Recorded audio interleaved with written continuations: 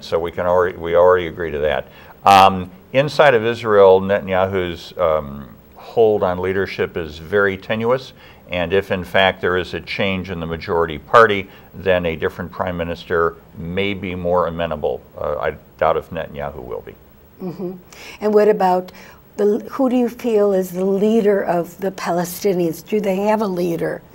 Um, the closest thing they have to a leader is Mahmoud Abbas but Hamas does not think that he is strong enough, and eventually Hamas will have to decide do we want to continue to exist as a terrorism organization, or do we actually want to support statehood, which includes recognizing Israel? That's on them.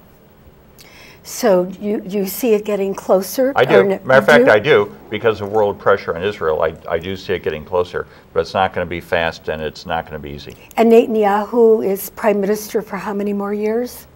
I don't know how long before an election has to happen. I, I don't recall that. Do you see uh, any change of the prime minister? Do you think it's going to be, is he going to be running again? And I, obviously he will be. And uh, will you think he is going to be reelected?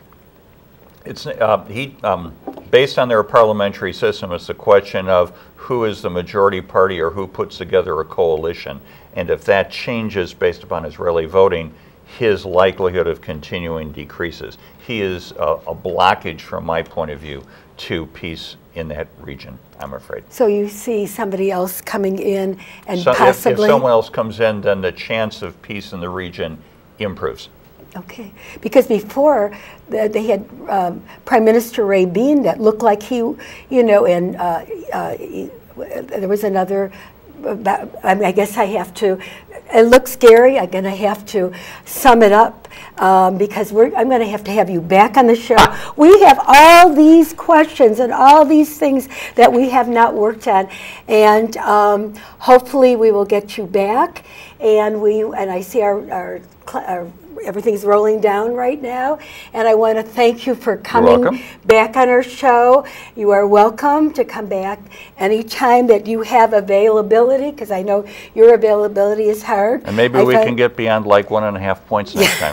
maybe That'd we can good. get back, yes, good. and we can get more questions in. But I think everything that you talked about is